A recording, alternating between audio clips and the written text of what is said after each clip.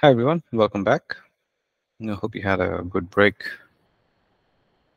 Got yourself a coffee, chai. We didn't get coffee here. Jeffina's complaining. So. Yay, water. Okay.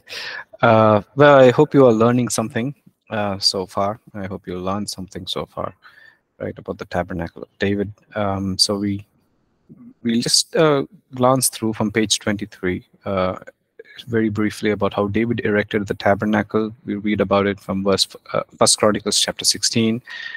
We see that uh, he raised the tabernacle, he built it, he erected the tabernacle, he distributed, uh, you know, a loaf of bread, piece of meat, and cake of raisins to everyone. And then he was he put the roster together. He appointed some of the Levites to minister before the ark of the uh, the Lord, um, to thank and to praise the Lord. That is in First Chronicles chapter 16, verse 4.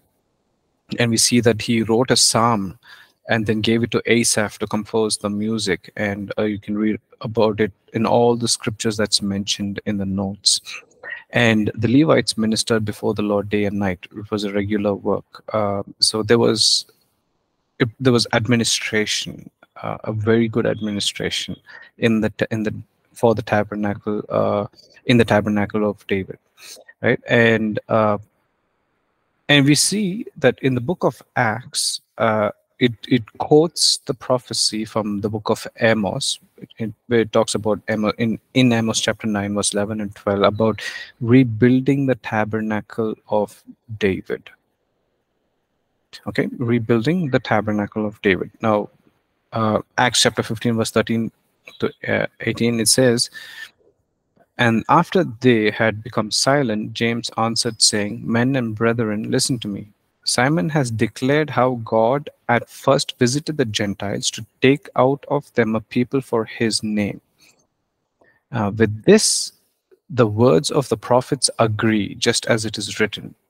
After this, I will return and rebuild the tabernacle of David, which was fallen down. I will rebuild its ruins and I will set it up, so that the rest of the mankind may seek the Lord, even all the Gentiles who are called by my name Says the Lord who does all these things, known to God from eternity are all his works. So, rebuilding the tabernacle of David um, is why not the tabernacle of Moses? Why doesn't it say that?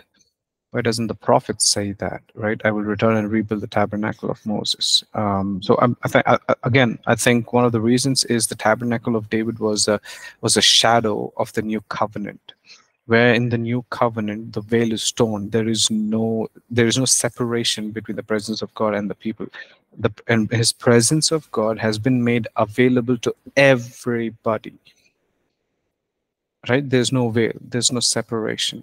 Uh, all are welcome. Um, all are invited. Everyone is uh, has a choice to choose him right? And so and one the presence is made available just as it, it, was made available to everyone in the tabernacle of david. There was no outer courts inner courts etc right? Uh, it was just the tent of meeting ark of the covenant in the middle people around it uh, and everybody could see it and then secondly there was order. The, the, tabernacle of david was about praise and it was about worship and prayer and intercession. It was happening constantly day and night. It was a regular work. Until the tabernacle of david uh, you know there we you know until then we don't see that uh, music uh, was treated as a vocation right? Uh, it is in the tabernacle of David where we see uh, worship, uh, music, and prophecy meeting, coming together in the same place uh, for the first time. We don't read about it in anywhere else.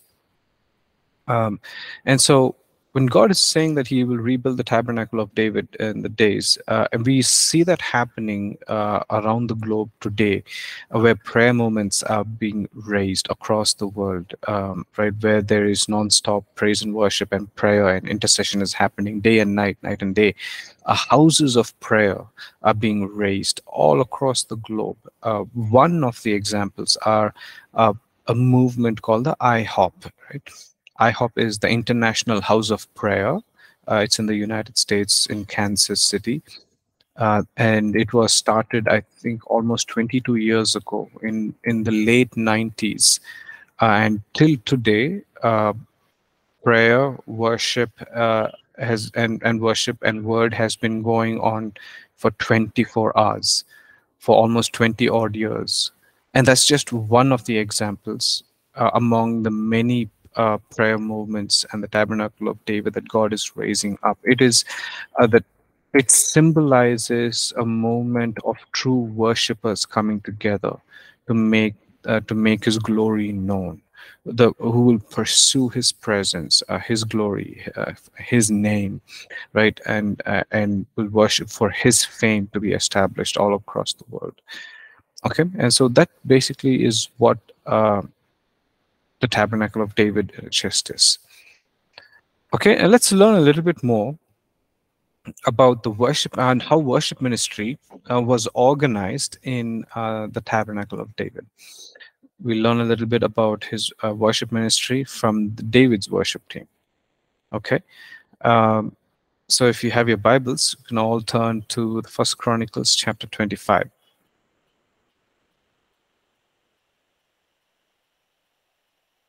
First Chronicles chapter 25.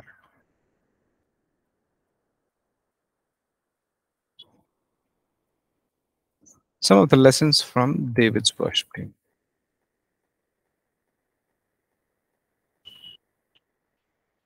Okay, uh, First Chronicles chapter 25, verse 1. It says, David and the chiefs of the service also set apart for the service the sons of Asaph and of Heman and of Jeduthun, who prophesied with lyres, with harps, and with cymbals. The list of those who did the work and of the duties and of their duties. Okay, so let's pause there. The very first thing that we see uh, in that verse 1 is the word set apart. David and the chiefs of the service set apart for the service of the uh, for the service the sons of Asaph, Heman, and Jeduthun. Um, the word set apart is the root meaning, root word for the word holy. Okay, uh, when we say that God is holy, what we are actually saying is that He is set apart that there is no one like him. If we are going to learn how to be set apart, or if we are going to understand a little bit about holiness, we are to look at the holiness of God. Okay? Um, okay, you know, you try and tell me uh, what comes to your mind uh, when you hear the word holy.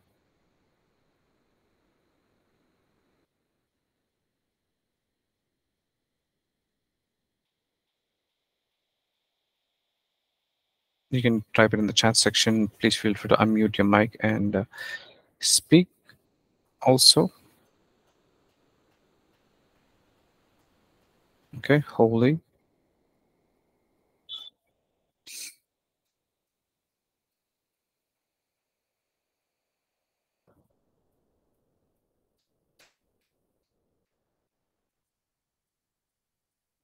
Gone. Okay, purity, God, no sin. Okay blameless. All right.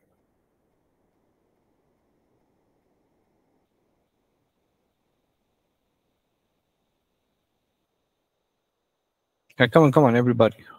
Come on. Holiness. Okay separate from sin. Okay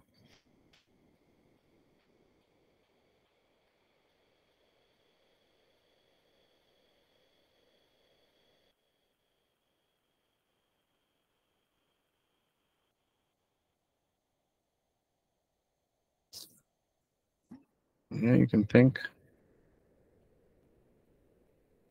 Consecrated. Okay. Yeah.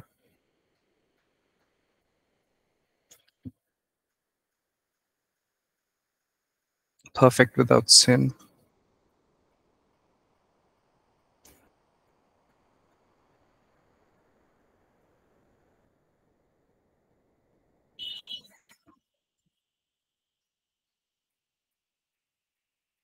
Formation of surprise. okay. Okay.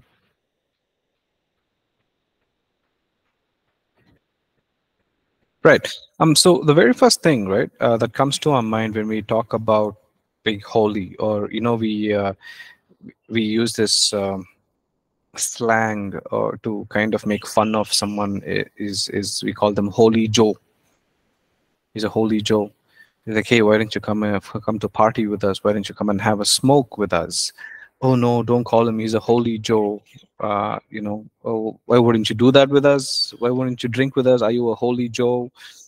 Uh, yeah, have you heard that? You know, have you been right?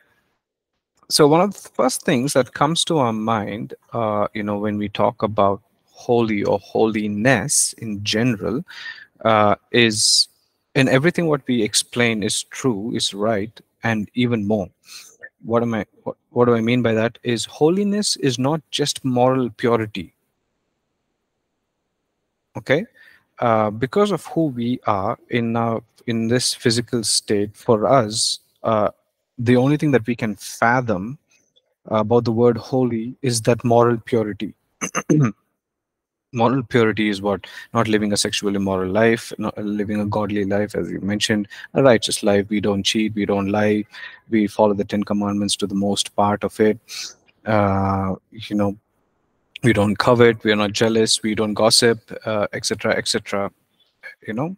And so it's either moral purity or sinlessness as you mentioned or uh, you know our understanding or some of the explanation or definitions of our whole the of the word holiness from us is righteousness, actually. Right? Uh, it's actually righteousness. But when we say that God is holy, uh, we are not just saying that he is morally pure. Right? We are not just saying that he, uh, you know, that he cannot sin we're not just saying that. He is not we're not just saying that god is sinless. The point is that he cannot sin right? Uh, it is not in his nature to even fathom. It it's he, he doesn't understand what sin is. When we say that god is holy he is set apart. In other words another meaning for the word set apart is there is no one like him. There is no one like him. Now, I'm just stressing on this, uh, you know, the word set apart, because it says in the first verse that, you know, David and his chiefs set apart. If we need to understand what it really means, we need to look at God because he's the one who is set apart. And only then can we understand what it actually means to be set apart. Right? Um, so Exodus 15, verse 11, it says, Who among the gods is like you? Who is like you, majestic in holiness, awesome in glory, working in wonders? It, it's a rhetorical question. Basically, who among the gods are like you? There is no one like him. Who is like you in majestic in holiness? There is no one like him uh, who is majestic in holiness. Right? Uh, you know, let's say an alien came to Earth uh, someone, an alien from planet Mars, I'm just saying, okay, a Martian comes to planet Earth and he asks me, is like, who are you? I, I can point my finger and say, you know, I'm like that person. I'm like Lyndon. I'm like Subhashish. I'm, I'm a human being. There is someone like me. They are like me. I am like them. They are like me.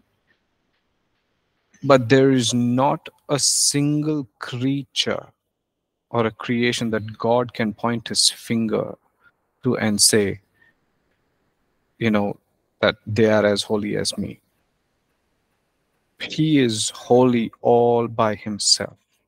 Right. Uh, let's go to uh, very quickly go to Psalm 89. Okay, just come with me to Psalm 89.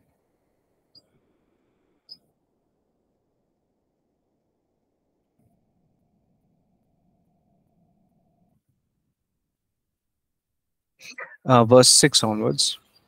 Psalm 89. Psalm 89, verse 6 onwards. I hope you're there. It says, For who in the skies can be compared to the Lord? Okay. Again, rhetorical question. No one. Who among the heavenly beings is like the Lord? Let's stop. When you think of the heavenly beings, what are some of the heavenly beings that comes to your mind? Angels?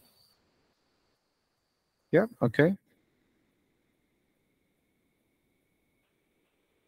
You think about the angels and the different classes of angels. There are, you know, I'm, I'm, I'm not sure if you're learning about angels and demonology and all of that, but uh, there are different classes of angels. There are the archangels, there are the messenger angels, right? And there are the seraphim.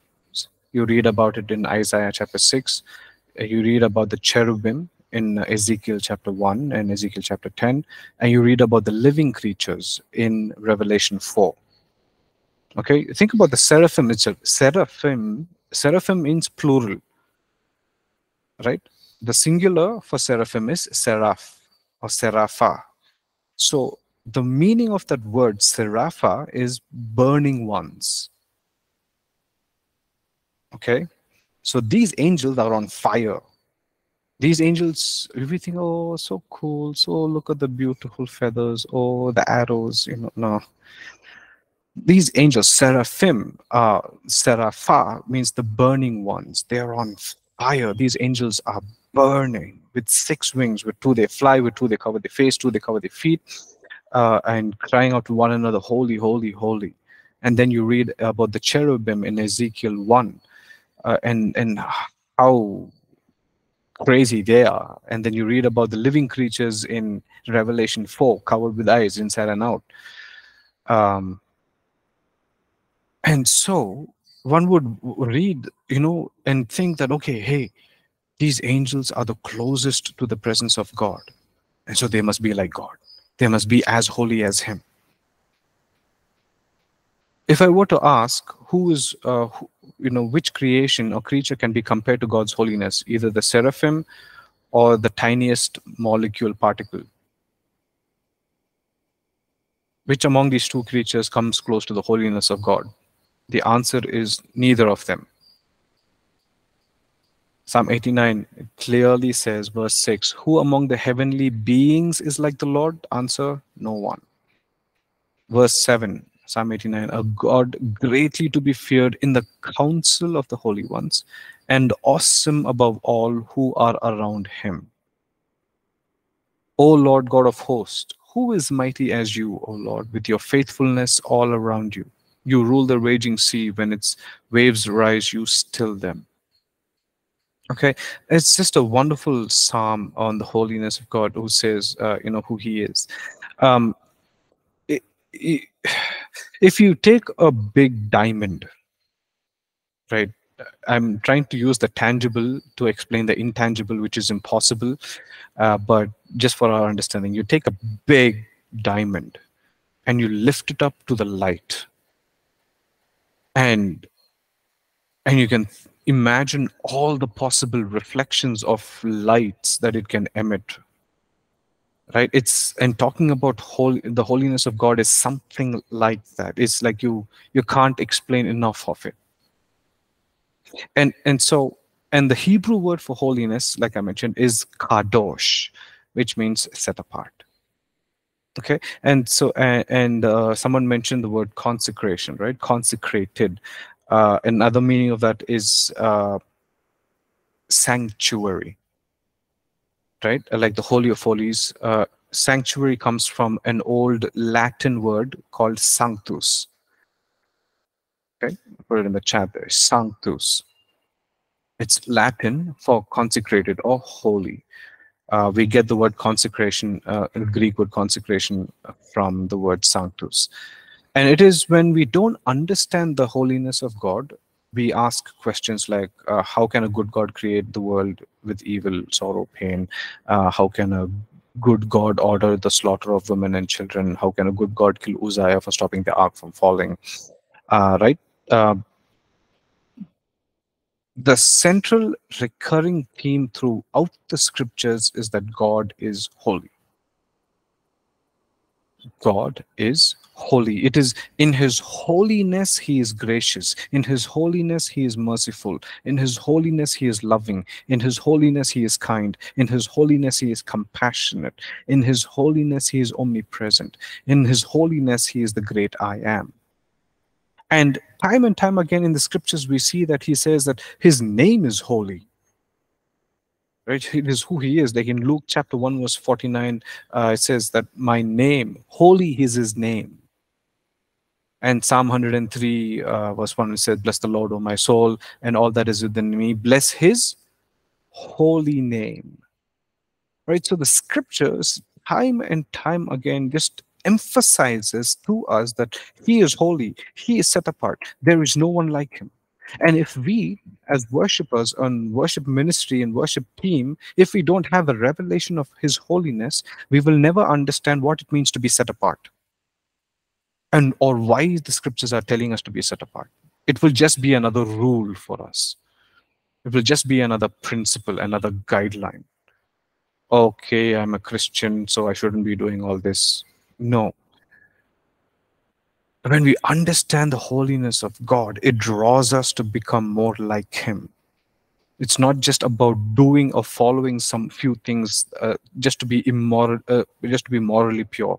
Being holy or being set apart is more than just being morally pure right and so uh, let's go let's go back to uh, the first chronicles uh, chapter 25 verse 1 uh, David set apart, right, the sons of Asaph, Heman, and Jeduthun for the ministry. Right, we'll get to that, and it's it's a very important commandment. It is when we when we don't understand that we we are, we are to be set apart, we compromise with the world. There's a Hindi word for it says chalta hai. It's okay attitude. Parwala. You know, it's like it's okay uh, you know, it's just one drag of smoke or, or it's just one nude scene in the series, but the series is amazing. It has great reviews. Uh, you know, it, it has only 10 murder scenes in it. It's okay. It's all right. Uh, Israelites compromised. They compromised and they began to follow the ways of the Canaanites and that was the beginning of the downfall. Compromise will kill our fire for the Lord. Compromising with the ways of the world will destroy our zeal, our love for the Lord. Its compromise is pouring water on, on, the, on, on the fire that you have for God.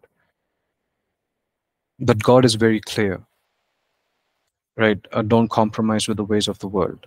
Um, you know, don't flirt with the ways of the world and with mine. You choose. So set apart. And the second thing is ministry. In the in in is what we learn from the david's worship team is ministry. Is they were set apart for the ministry of prophesying and to serve and worship. Uh, again the root meaning for word ministry is to be a cup bearer. That's the literal meaning is to serve is to serve without expectation.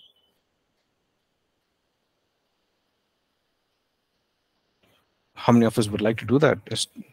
We all love to serve, uh, but do we serve without expectation? Right? Uh, it's a very good, important question for us to have. Uh, we see the greatest example of that in John chapter 13, uh, where love plus service equals to ministry. That Jesus takes a bowl of water, ties a towel around him, and begins to wash the feet of his disciples. That is ministry. Okay, so set apart, serve, serve without expectation, right? And then, then, and, and, and the next thing that we learn about from the David's worship team in First Chronicles 25 is, so it says, you know, they were set apart for the ministry of uh, prophesying, and we come down to verse 6, okay? Verse 6, it says, they were all under the direction, uh, another translation, uh, NIV or NLT will say under the supervision. Right? They were all under the supervision of their father in the music in the house of the Lord with cymbals and harps and lyres. And and Asaph and Jeduthun and Heman were under the order of the king. In other words, they were under the supervision of the king. In other words, they were submitted to the king. Okay? Uh, submission, being choosing to be under someone's uh, supervision is an expression of humility. If you don't have that, the first question would be, why should I be under him? Why should I be under his order? Who is he to tell me what I should be doing? I will do whatever I want to do, however I want to do it whenever I want to do it, I will do it. You understand? So that is the opposite of being submissive is pride. Opposite of humility is pride. And and God, the first worship leader in the Bible had serious issues with submission. You can read about it in Isaiah 14, Ezekiel 28. Uh, he said to himself, I will ascend above the throne of the Most High. I will make myself like the Most High. And he just had to think, you know, um, and so that was his downfall. Uh, and God resists the proud. We read about it in James chapter 4, verse 6. As a worship leader, I'm going before him with song. And the last thing I want God doing is uh, no, Roshan, I don't want you. I don't want your worship. Thank you very much. You can keep it aside, walk away. Pretty much like what he did to Cain. Right? So humility in this day and, in this day and age, in uh, you know, it's portrayed as weakness. You know, uh, it, humility is portrayed as weakness. It's it's uh, it's weakness to say, I'm sorry first. It's weakness to say, uh, I forgive you first. Right? It's weakness to uh, extend your hand of help to someone else. But you have to be strong to be humble, isn't it? Right? Uh, if if you want someone to, let's say there's a huge wall in front of you, uh, and you want to jump across the wall, you have to be strong enough to bend down and give your back to someone to climb over your back and jump over the wall. Isn't it? Uh, and humility is picking up someone who cannot up with your strength. And that's the beauty of submission, and that's the beauty of humility. And there is something about humility and brokenness that God cannot ignore he's attracted like the law of gravity in this realm uh, in god's kingdom the law is if there's humility and desperation and hunger the law is the kingdom has to respond it has to respond to the cry of the humble it has to respond to the cry of the desperate and so something about the brokenness and the humility uh, you know that god loves in us and so that's the that's the third point that we learn in, in from the David's worship team is that they were all under the supervision, um, you know, of the leader of the king. And then a couple more points, and we'll stop. Uh, and let's go to verse seven in First Chronicles 25. It says, "The number of them among their brothers were who were trained in singing to the Lord, all who were skillful." was 288. Now, forget the number. Okay, um, 288, 4,000 later, you see that it's all crazy, but then it says that they were all skillful. It doesn't necessarily say they were the best, because how do you define best? Right? Uh, but what we can learn is to have skillful. Let your music, let let whatever you do for God have skill okay raise the standard keep raising the standard don't compromise at where we are like, okay, this is where we are. This is how much I know. Um, so I'm going to continue doing this forever. Uh, there is no scope of getting better. There is no aim. There is no goal saying, okay, you know, this year we are at this level in our musicianship, and next year we're going to take it up a notch. And these are the mission. These, this is the goal. These are the steps that we're going to take to get to that place. Uh, if we don't have that as a worship ministry, your worship ministry will fail. It's going to get stagnant, and you know what stagnant means. There is no growth, and it's going to attract all kind of unnecessary things. And finally, we see that um, in verse 8, First Chronicles chapter 25, verse 8, it says, And they cast lots for their duties. That means there was roster, small and great, teacher and pupil alike.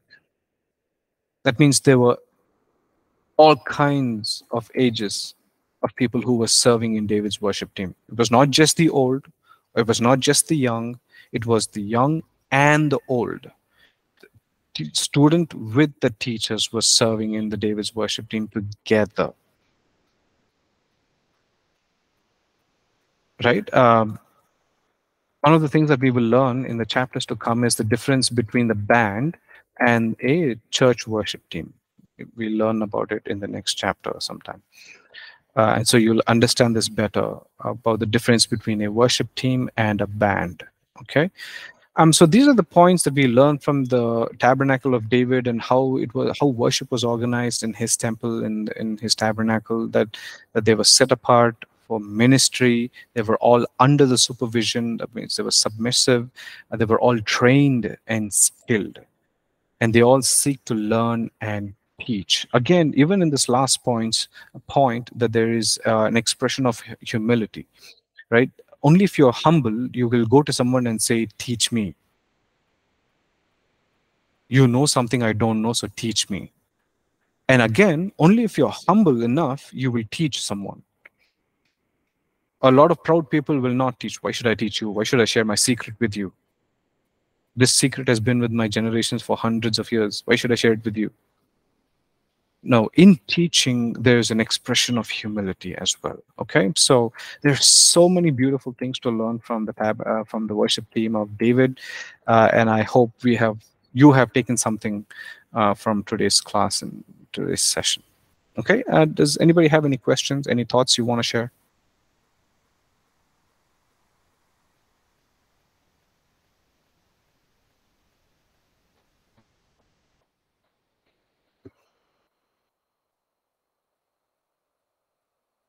Okay, I guess not. Um, so uh, we'll actually stop here uh, for this session because um, there's been quite a, a download of information. Um, so we'll resume again um, next week. Okay.